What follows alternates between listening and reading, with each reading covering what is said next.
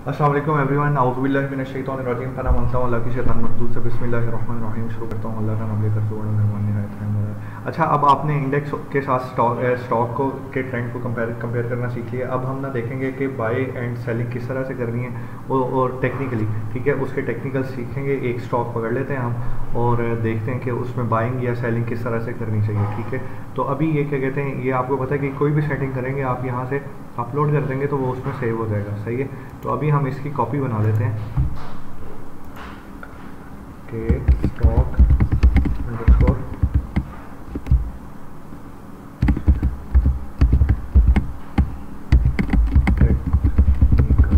ठीक है?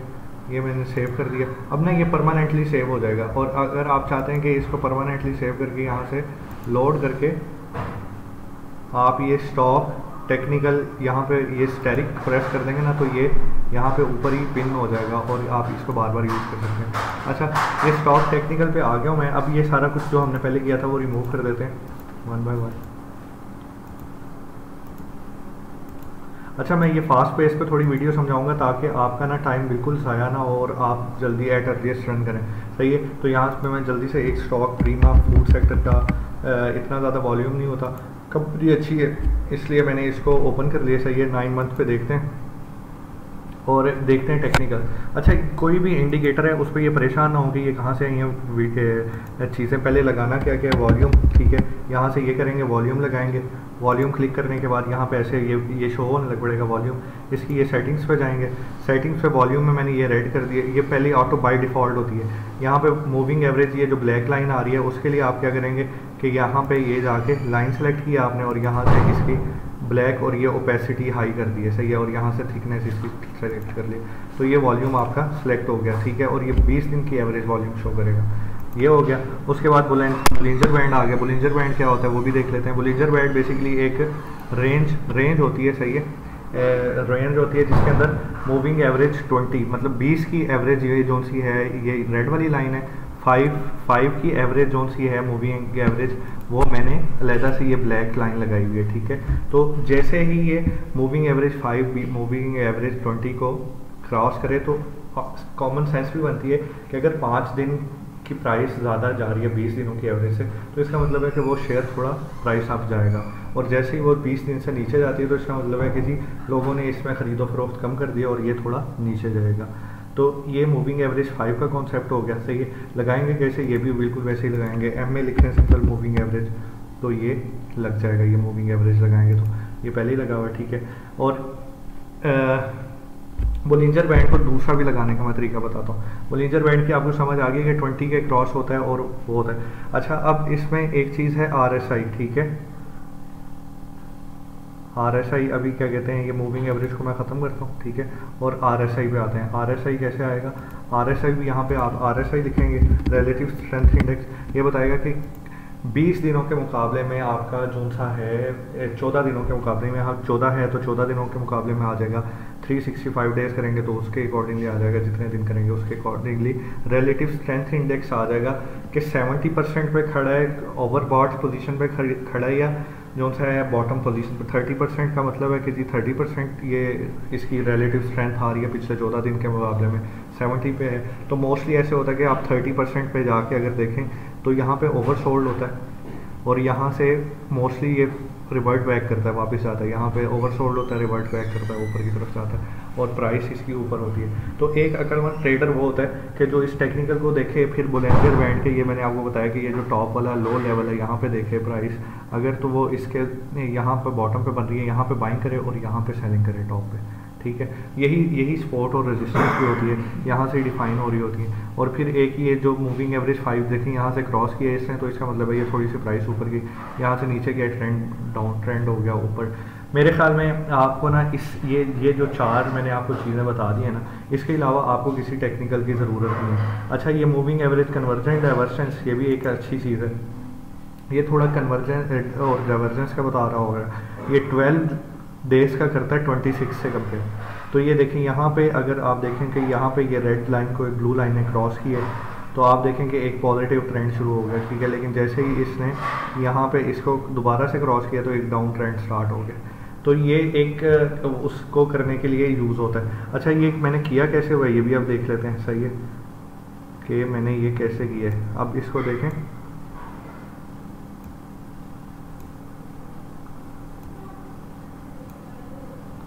अच्छा हम ना मूविंग एवरेज को उठाते हैं ये हो नहीं रहा। इसको लगाना कैसे वो मैं ना रिमूव करके आपको दोबारा बताता हूँ, ठीक है? ये मैंने इसको क्रॉस किया। यहाँ से मैं गया कंपेयर में कंपेयर में सॉरी करूँगा मैं। इंडिकेटर्स में जाऊँगा। M A C convergence divergence आ गई, ठीक है? अब ये यहाँ से आप ये बेशक उसको, उस पर नाक भी रखें, ये देखें रिलेटिव स्ट्रेंथ इंडेक्स भी आ गया।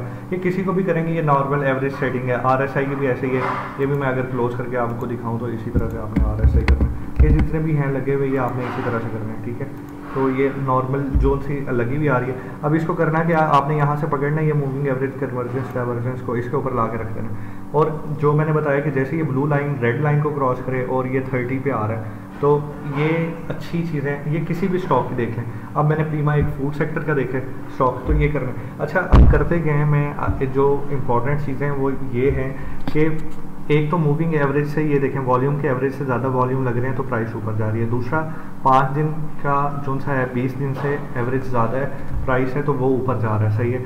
टॉप पे रेजिस्टेंस है मतलब वो एक लिमिट है प्राइस की। देखें प्राइस जो उसकी है, वो किसी शेयर की, उसके फंडामेंटल कंपनी न्यूज़ या उसके डिविडेंट उसके पे आउट्स शेयर उसके रिजल्ट्स वगैरह पे डिपेंड कर रही होती है, सही है? और एक टारगेट होता है कि मतलब ये यहाँ तक जा सकती है, अपनी कंपनी की परफॉर्मेंस या उसके रिजल्ट्स की बेस पे जो वो कंपनी अर्न कर रही है, सही है?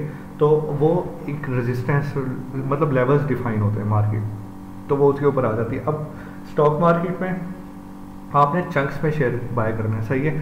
अब इसमें किसी ने देखें कि अगर वन ईयर में यहाँ पे प्राइस बाय करके रखा हुआ है तो अभी बड़ा करीब है, सही है। तो ये एक स्पेकुलेटिव मार्केट है, देखें कुछ लोग यहाँ पे ख़रीदेंगे, यहाँ पे सेल कर देंगे, सही है। फिर वो एवरेज आउट अगर तो उन्होंने प्राइस को और ऊपर लेके जाना है, देखें यहाँ पे सेल कर दिया। फिर दोबारा से किसी दूसरे तीन बंदों ने ख़रीदा, वो थोड़ा प्राइस ऊपर लेके, फिर यहाँ पर निकालने लग पड़े। अब आप अगर इस तरह से देखें, मैं आपको समझाता हूँ थोड़ा। अब इन बंदों ने ये फॉर एग्जांपल यहाँ पे बाइंग हुई, इसकी यहाँ पे बाइंग हुई, यहाँ पे बाइंग हुई, यहाँ पे बाइंग हुई, सारी जगहों पे बाइंग हुई। यहाँ पे थोड़ी थोड़ी सेलिंग करके यहाँ से उन्होंने मतलब ये देखें, ये मेजर बाइंग एरिया और यहाँ पे अचानक से उन्होंने ये सेलिंग कर दी। मतलब किसी बंदे ने यहाँ पे सारा प्रॉफिट टेक कर लिया मेजॉरिटी ने। सही है अब उसके बाद साइडवेज हो गया। साइडवेज का मतलब क्या है कि बाइंग सेलिंग यहाँ पे भी हो रही है। अब या तो वो दोबारा से यहाँ पे ख़रीद रहे हैं एक स्पेसिफिक एक रेंज को बाउंड करते हुए कि हम या फिर वो सेल कर रहे हैं कि एक यहाँ पे ख़रीदा था उन्होंने और यहाँ पे सारा सेल कर देंगे। जब अगर ये ऐसा होगा कि वो सेल कर दें तो ये देखें डाउन ट्रेंड आ गया।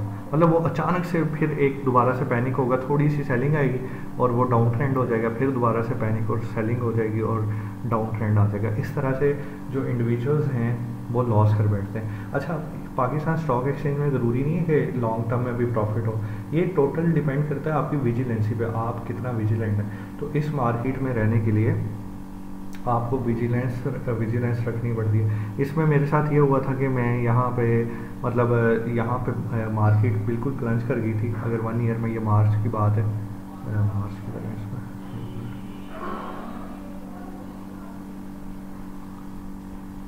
हाँ ये मार्च इक्कीस यहाँ पे प्लंज कर गई थी? बिल्कुल। और मैं इसको नाइन मंथ को करता हूँ। तो मुझे मेरे, वो ट्रेडर ने कहा कि भाई यहाँ पे आप बाय कर लो जब ये इसकी प्राइस उन्नीस रुपये थी ऐसा साइड पे आप देख सक रहे हैं यहाँ पे प्राइस आ रही होती है। ऐसे उन्नीस तो मैंने नहीं किया, मुझे ज़्यादा महँगा लग रहा था। दरअसल ये प्राइस आया हुआ था। ये आप देखें।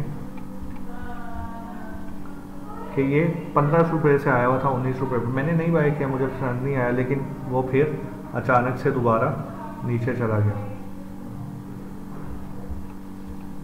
यहाँ यहाँ पे उसने मुझे कहा था बाय कर लो, मैंने नहीं किया। अब मैंने दोबारा यहाँ पे ये रेंज के बॉटम में कर लिया। तो इसमें यही इंटेलिजेंस है कि आप किसी चीज़ को नीचे से बाय करें और ऊपर बेचें। तो मेरे ख्याल में ये टेक्निकल जितने भी लग, लग सकते हैं वो मैंने सारे बता दिए आपको। आरएसआई को किस तरह से यूज़ करना है थर्टी पे ख़रीदें यहाँ पर बेचें और ये बाकी चीज़ों का भी बता दिए। तो होपफुली आपको इस वीडियो में सारे टेक्निकल सीखने को मिल गए होंगे और बाकी मैंने इंडेप्स भी बता दिए कि ब्रोकर की कॉल्स क्या उस पर नहीं जाना। डिफरेंट फैक्टर्स होते हैं स्टॉक को सिलेक्ट करने के उसकी ऑप्शन होती हैं। तो ये हमारा प्रीमा का स्टॉक डिस्कस हुआ है उसके टेक्निकल डिस्कस हुआ है।